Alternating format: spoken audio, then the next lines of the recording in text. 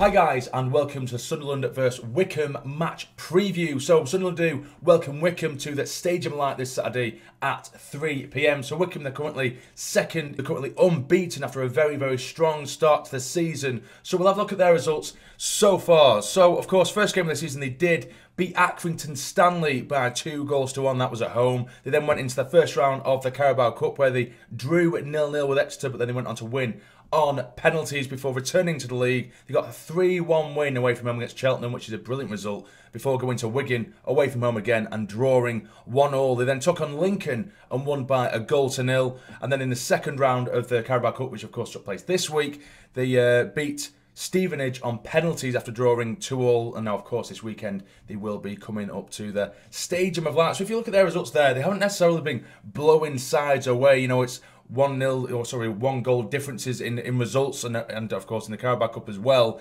They seem to have.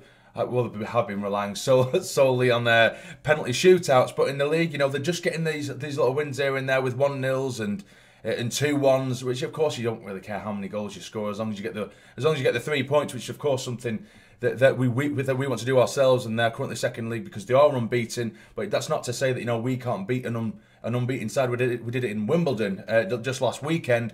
Uh, but for me, Wycombe, they're definitely going to be there or thereabouts uh, this season. They'll definitely be pushing for playoffs or in the top two after coming down last year. One thing I have, you know, analysed about their side, of course, they're a very energetic and very, very dangerous side, but they seem to give up possession uh, quite easily in terms of they will allow the opposition to have um, to have position, possession, sorry, and play very much a counter-attacking brand of football. But that's where their energy and their ruthlessness does come into play. Because if you look at the stats or the statistics for almost every single game so far this season in the league, anyway, they've had under 40% possession, but they've had over like 14, 15 shots, and they've pretty much doubled the amount of shots that their opposition have had. But they've always given up possession for that, which of course possession isn't everything. Um, you need to be able to defend against this side because they do seem to be pretty dangerous going forward. Because, like I say, against Lincoln as well, where they did get the 1 0 win, they, uh, they only had 39% possession, but they had 16 shots again in comparison to Lincoln's 9.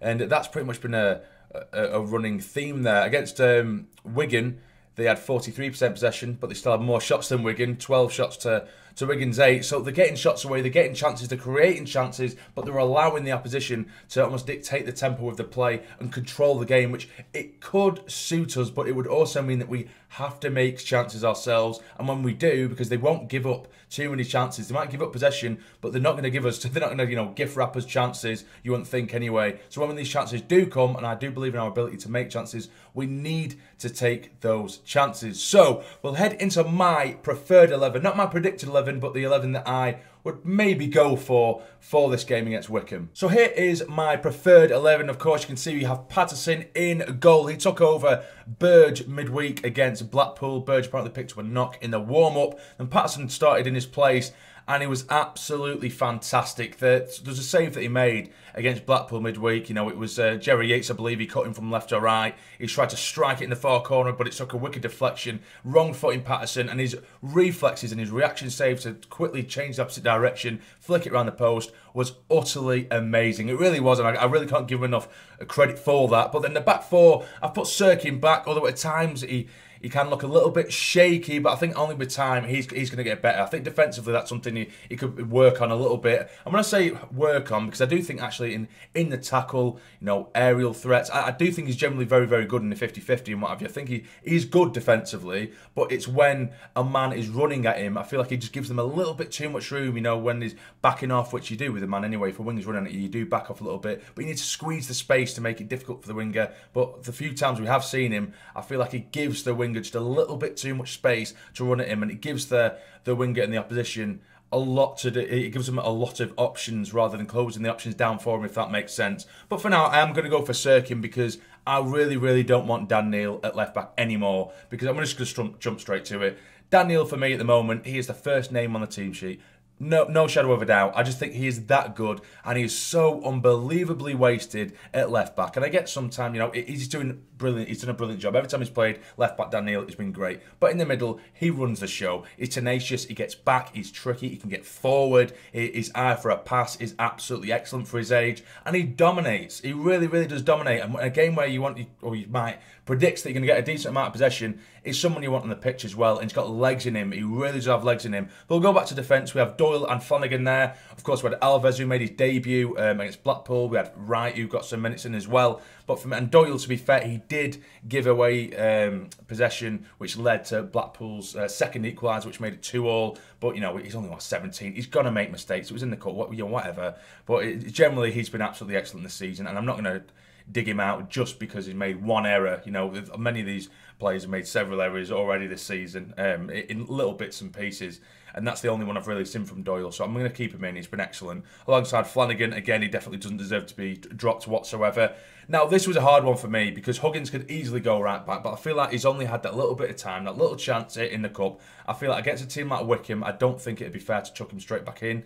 Winchester for me, I think in the long run, I would love to see Dan Neil and Winchester being a partnership there in the middle because I think that would be an absolutely cracking pair, and they were in the cup against Blackpool. Um, but just for now, I want to put him back in, in right back because I want us to be really solid at the back against this Wycombe side. And, and Winchester has been excellent at right back. Um, I could be wrong, and Huggins could end up playing there, and, and I wouldn't be completely against it. But for me, I just don't think it is worth worth the risk right now. So in the middle, as you can see, I have put Dan Neil and Luke O'Nien. But in the pre-match uh, press conference for this game, it has been said by um, by LJ that there's a chance that Luke O'Nien might not make it, maybe, you know, because obviously I think he popped his shoulder, didn't he, against uh, Wimbledon. Um, so there's a chance he might not make it. He might get warned off by the doctors not to use him. But he said he looks okay and he's, he's looked decent on the pitch. But for me, I think Luke O'Nien, Dan Neil, as I say, we want those legs against this really, really energetic Wycombe side. There's a chance uh, that Corey Evans might be able to come back in. But again, Lee Johnson said that it would just be a bit of a risk. It'd be chucking him in at the deep end. Um, and if it was a cup final, he might use him.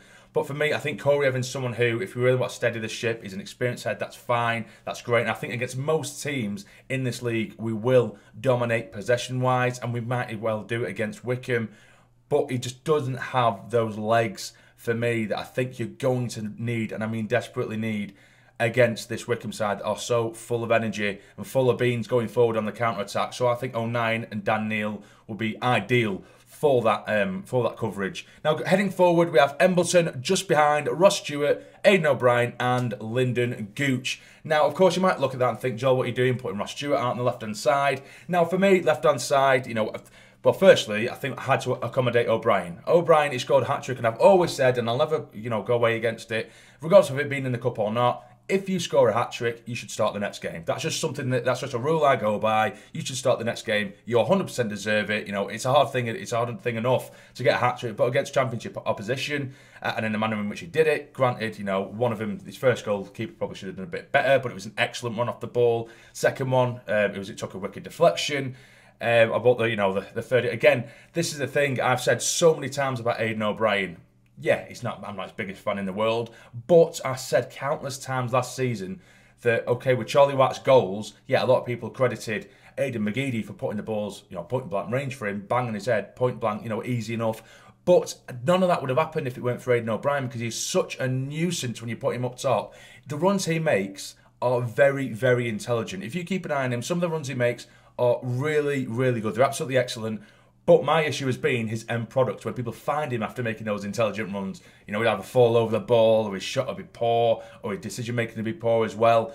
But he's an absolute nuisance. And so for me, I would put him up top. Stewart can play on the left hand side. He's quick, Stewart. I don't think people give him enough credit for his pace and his dribbling ability. If you look at our third goal against Blackpool, there's a there's a screenshot image of Stewart and he's surrounded by six Blackpool players and there's no Sunderland players at all. But his dribbling ability, his holding up ability to bring Sunderland players back into play and it eventually leads to the third goal. It shows what he is capable of with his feet. He's not like frigging Charlie Wyke who just can't control the ball. You've got Ross Stewart there who can, and he's played a lot of his career, particularly last uh, not last season, sorry, for his former club. he was playing left wing half the time anyway, so he can do it. I'm babbling on here, but you've got Stewart. I would easily and happily play on left hand side in, in you know to replace McGeady, who hasn't had a great start to the season, and uh, Gooch on the right hand side as well. Um, now, and of course, on the bench, you've got many players. McGeady can come in, obviously, um, to provide a moment of magic.